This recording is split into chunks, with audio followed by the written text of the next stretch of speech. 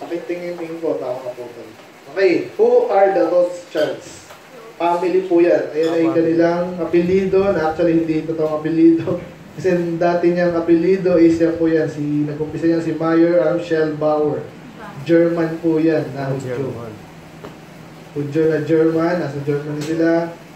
Pinalitan niya kanyang apelido ng Rothschild. Ang ibig sabihin po nun is sign uh, red sign. Kasi yun ang ginamit niyang sign siya ay nagpautang. Whatever reason, yung sign na yun ay Star of David daw. Okay, tingnan natin dito. Sayang lang, hindi ko nakuha lahat eh. Ito po yan, okay? Ito po yung flag ngayon ng Israel. Yung sign na yan, hexagram, yan po ay sa demonyo, pero mamaya tayo punta. Pero yan yung kanyang sign, dati pula, ngayon blue. Anyway, yun ang pinanggalingan ng kanilang bagong apelido, Rothschild. At uh, magaling po itong taong to sa laman, ha, kaysa... So naisipan niya, so yumayaman na siya papapautang. Ang problema yung iba kasi hindi makabayad. So pag may isa, dalawa hindi makabayad, kahit pa ihabla mo yun, wala ka ng pera kayo.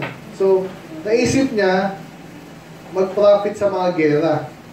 At actually, kahit ngayon, hanggang ngayon po, ha, may mga documentary na nagsasabi, yung World War I and II, yan po ay hindi basta-basta pag ito nangyari ng biglaan lang. Kasi ang normal na tao ayaw makipagdigma kasi nga magastos, maraming mga, ano, di ba? Ba't ka mag, uh, tapos yung mga tao, mamamatay sila. Subukin natin yun! Para sa ating bansa! Nung panahon na established na yung mga borders, hindi mo kailangan mong gera eh. So, kaya yung iba, kaya sabi ng iba, sinadya po yun. Kinausap yung mga, mga politiko, parang boxing, sabi sa'yo, di mo daw siya kaya. Patunayan kong kaya. Sinabong. Parang gano'n sinabong. Yung pala, ang uh, gusto is kumita sa gera. Kasi pag gera, maraming supplies. Pag gera, maraming kailangan ng pera. Okay? So, hindi ko pa naaral ng posto yun, pero parang totoo eh. Kasi pag inisip mo yun nga, hindi ka makipaggera sa iba, mamatay yung mga, mga yung mga young people mo para lang mag-expand ka ng border. Anyway, so itong si Rothschild, nag, nag, sila po yung yumaman dahil sa gera. Kasi pinautang nila gobyerno. Oh, Yan po ang kwento niya. yaman ha? So meron siyang ah, limang anak, malalaki. Ang ginawa po nila is uh, nag-establish sila ng mga bangko sa mga key cities ng Europe at that time. Okay, sa England, Italy, sa Austria, sa ano dalawa? Sa France, siyempre. Na pa yung iba. Limutan ko isa. But anyway, ginawa nila, na, na, na, ano nila to, naisip nila to na pag bangko-bangko yan, tapos magka-transfer ng pera, ay hindi na nila ipapadala yung pera doon. Kasi alam mo na, baka ma-hijack eh. Gagawa na lang nila, letter of authorization. So, ganun ang nangyayari sa atin ngayon. Okay? Anyway, sila ay ah, may last accumulation of power and money. Alam niyo ginagawa nila? Kahit yung mga hari dati, para yung mga Chinese, anong ginagawa nila para hindi lalabas yung mga kayamanan nila? For example ako, yaman ko na. Tapos may anak ako. Ang anak ko, di ba? Si Shana, pag na, napangasawa lang ng kusino yan, mayaman na kami. Tapos si Shana, napangasawa ng kusino lang dyan, ano mangyayari? Di makikihati yun. Kaya yung mga Chinese, hindi nila gustong gawin ang ginagawa nila. Sila-sila yung nag-aasawa, mga pinsan, pinsan. Okay? Ganun ang ginawa ng Rothschilds. Talagang yumaman sila. Okay? And then, balik punta tayo, balik tayo sa Israel. So, so anong ginawa nila? So, nung binak upan nila yung ah, Israel, kasi nga, Hudyo sila eh. May ano sila doon, may uh, again, may stake sila doon, meron silang uh, Simpatiya. simpatya doon. So, binakapan nila yan, kaya-kaya nila eh. May, kasi mayaman eh. Mayaman. Nag-profit sila sa mga First and Second World War. Yaman na nila. So kaya sila sinulatan ngayon, oh! Yang ano dyan ha, natalo kasi yung Ottoman Empire. Yun ang nakasakop dati doon. O, bigay niyo sa amin yan. Ang problema, marami nakatira doon.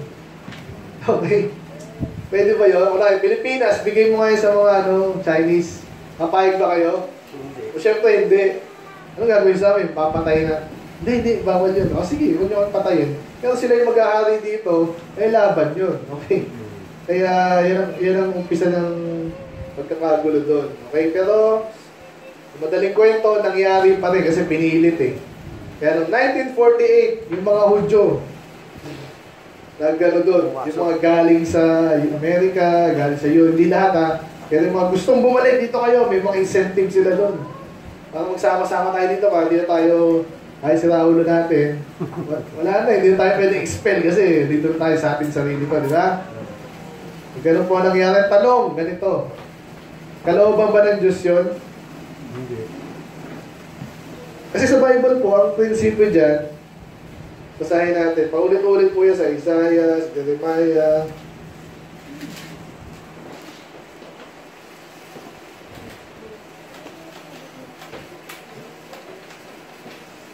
Ikaw rin ba? Baklan.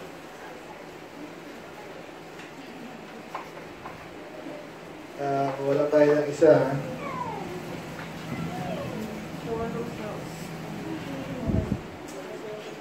Ano ba yan?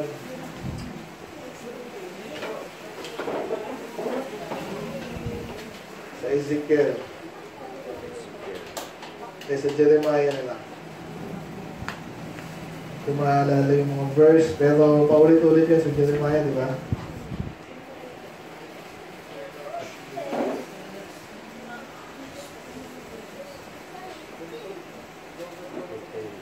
Okay.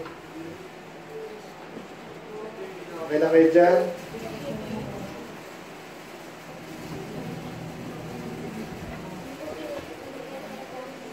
Yan, okay. So ito yung pangako sa kanila, Jeremiah 29, eh, mga sa Jeremiah 29, 30, 31. Ito for thus said the Lord, af- the- after 70 years, be accomplished of Babylon. Okay, nasakop sila ng Babylon. I will visit you and perform my good word toward you and causing you to return to this place. So pinangako sa kanila yon. Pag sila ay ah, nag, nag tumawag sa Diyos, sila naman ay. Uh, pagpapalain ulit ng Diyos at yung mga kasalanan nila patawarin at sila ibabalik sa sa kanilang land, promised land. Okay, ganun din kahit nung nandun pa sila, sabi doon, sila isasakupin, pero pag sila ay ah, bumalik sa Diyos, sa judges, sa, sa kings, ano sabi doon? Ibabalik sila sa land. Kasi nga, yung ah, ah, promised land is a picture of yung God's ah, perfect will sa kanila din sa mundo. Okay, nakikinig mo ba? Hmm. Subukan nyo lang. Na ano? Focus. Kasi noong 1948, binalik sila doon. So, ibig sabihin ba, naging mga Diyos sila? Naniwala ba sila kay Jesus? 1948, lahat ng mga Hudyo, ah, naging Kristiyano na. Hindi ganun nangyari. Ginawa nila under the table nga. Kinausap nila yung mayaman, meron silang pera. Eh, ilan lang ang pwede mong kausapin doon kasi ang nag-rule doon sa banda doon, England, British. Ilang tao lang kailangan mong kausapin doon yung malaki yung pondo mo. Sige, pagbigyan na natin to. Eh, ano naman sila, kailangan nila ng land. Eh. Oo nga eh. Pero nag-agree kasi meron lang under the table. Eh, bandang muli, pinayagan sila. Kalooban ba ng Diyos? Hindi. Dinaya yun. Pero yun ang sinasabi nila ngayon. Kaya sila ando, dahil pinangako ng Diyos yung sinasabi ng mga preacher. Sa mga, mga dispensationalist. Which again, walang katotohanan. Okay? So, punta tayo ngayon sa Star of David na tinatawag. Okay pa ba kayo?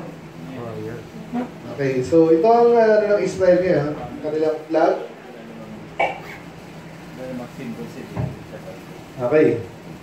Ang tawag nila dyan ay Star of David. So, saan kinuha yan? Yung tanong. Again, yung mga rabbi tinanong. At kahit ako, tinignan ko rin, baka nag-isinungaling yung documentary. Saan nila nakuha yan? Sabi nila, wala nakakalam. Mm. Eh, di ba yun? Simbolo ng ano yun, ng bansa nyo, di, di alam kung saan galing. Ang Pilipinas, alam natin yun, di ba? Mm. At sino ba yan? Si embroider niyan? Sino magaling sa history dito? Julian Julian Pili, babae yun eh. Ah, Si? Anak ni... Anak niya ba? Ano? Oo. Hindi ko na rin alam. Basta yun. May history yan. Yung stars ay Luzon, Visayas, Mindanao. Yung araw, yung sinag ng araw, yung una na ipaglaban sa mga Kastila. Ay, Bataan, Cavite, San Mateo, wala ka San Mateo doon. Kalayaan, Rizal. Saan kayo Rizal doon? Hindi ko maalala. Hindi. Basta yung mga ano, nakipaglaban. Masikat sila doon. Anyway, yung puti ay, ano ba yung puti? Purity. Purity, kalayaan ko yan. Blue. Blue ang Kalinisan yung Kalinisan, yung puti. Kaya pa yung blue. Pula is katapangan. katapangan. Ibig sabihin yan eh. Ay, Israel. Ilagay natin to. Ano, Saan ang galing yan? Hindi ko alam eh. So, dito tayo magtataka again. Uh, natapos tayo sa Iglesia ng Manalo. Natapos tayo kay uh, dating doon. Kinwestiyon natin yung logo nila kasi hindi mo yan sa atin, madali lang sa atin, di ba? Bible, may sword, syempre, of the spirit, yung purple, may puso. So, sa, saan ang galing yan? Hindi namin alam eh. Sige sinasabi nila, ngayon hindi pwedeng ganun. Ah, ngayon tinatanong din yung mga Amerikano, bakit may doon sa kanilang dollar, bakit merong doong ano, kung ano-ano nakalagay doon. Hindi rin nila alam. History, wala. Bakit nangyayari yun na wala nakakaalam pero doon? Sige nga, kailan nangyayari yun? Katulad niya sa pand- pandemic. Ha? Bakit yung pinipilit siya? Sino nag-utos niyan? Hindi, yun daw yun eh. Sabi ng science eh. Eh, kina-question may science. Hindi, basta gano'n na yun. Kailan nangyayari yun? Pag, pag may lokohan or may mataas na tao na pinilit yon at ayaw niyang paalam yung dahilan,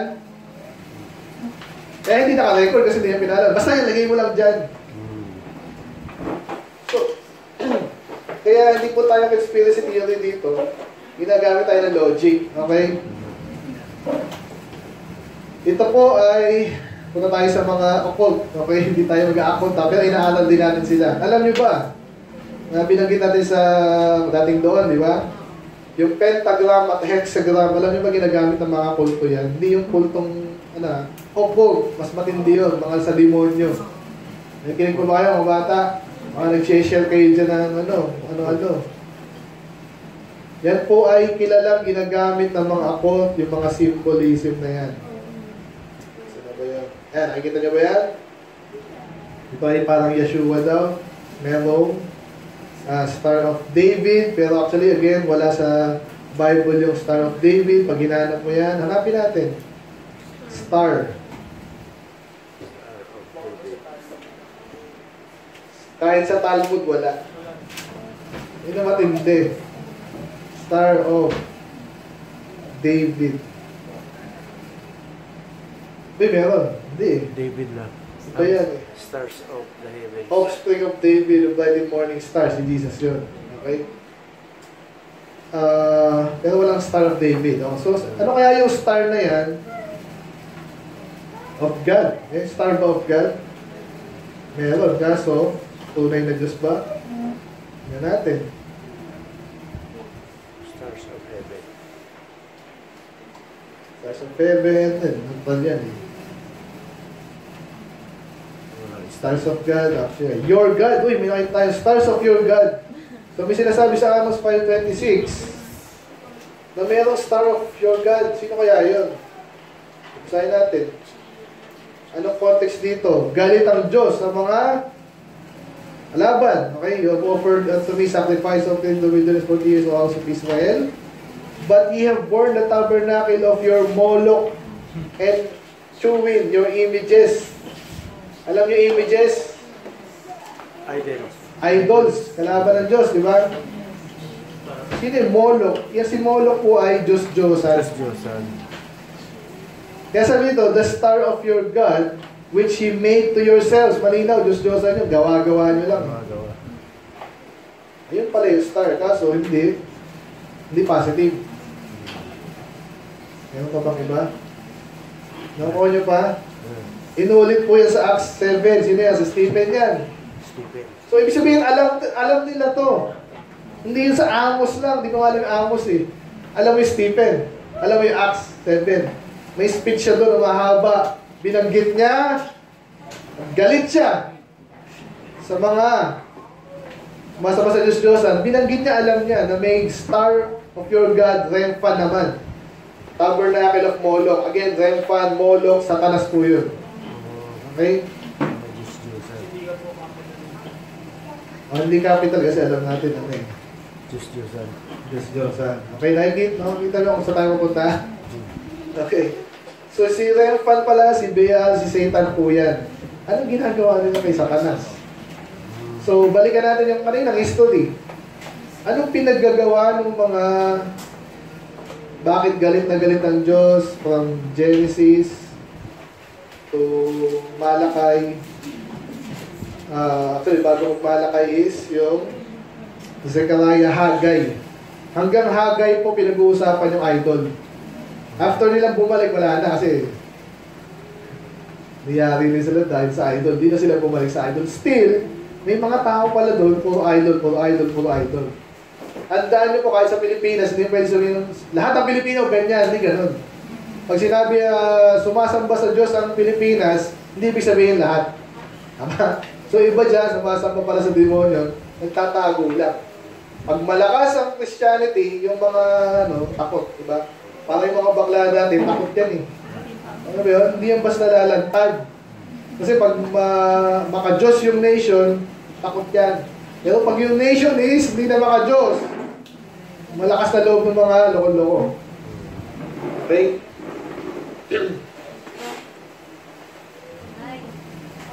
Okay ba kayo?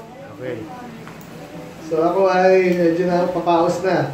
So this time, uh, break muna tayo. Break mo na. Ha? Matindi pa to. Matindi pa to. Salamat nag-usulat kayo ha. So bibigyan ko rin ka ng copy. Ito.